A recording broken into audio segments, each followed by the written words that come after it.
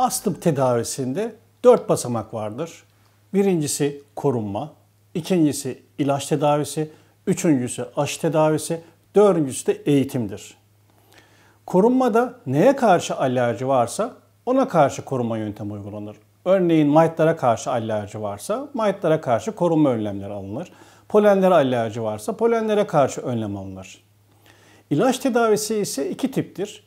Birincisi rahatlatıcı tedaviler, ikincisi iyileştirici tedaviler. Rahatlatıcı tedaviler sadece şikayet olduğu dönemlerde, öksürük olduğu zaman, nefes sıkışıklığı olduğu dönemlerde kullanılan tedavilerdir ve sadece rahatlatır ve kısa süreli kullanılır. Uzun süreli kullanılan tedaviler ise iyileştirici tedavilerdir. Kortizonlu ve kortizonsuz olarak iki tip tedavi yöntemleri vardır. Kortizonsuz tedavilerin etkileri daha azdır fakat yan etkileri de daha azdır. Kortizonlu tedaviler en etkili tedavi yöntemleridir. Aileler genelde korkarlar kortizon var diye fakat binlerce yapılan çalışma vardır ve bu çalışmaların sonucunda önemli bir zararın olmayacağı sonucuna varılmıştır. Onun için e, uygun dozlarda kullanıldığı takdirde önemli bir zararı olmayacaktır. Bir de aşı tedavisi vardır. Aşı tedavisi dil altı sprey şeklinde kullanılan veya enjeksiyon şeklinde kullanılan formları vardır. Yeni yeni tablet aşılarda piyasaya verilmiştir. Sprey şeklinde aşılar 3 yaşından sonra kullanılabilirken enjeksiyon şeklinde aşılar 5 yaşından sonra uygulanabilmektedir. Alerji aşıları muhakkak alerji uzmanları denetiminde yapılması gereken tedavilerdir. Çünkü bu konuda eğitim alan tek uzmanlar alerji uzmanlarıdır. 18 yaşından küçüklerde çocuk alerji uzmanları, 18 yaşından büyüklerde ise yetişkin alerji uzmanları bu konuda eğitim almış ve tedavi yapabilecek düzeyde olan uzmanlardır.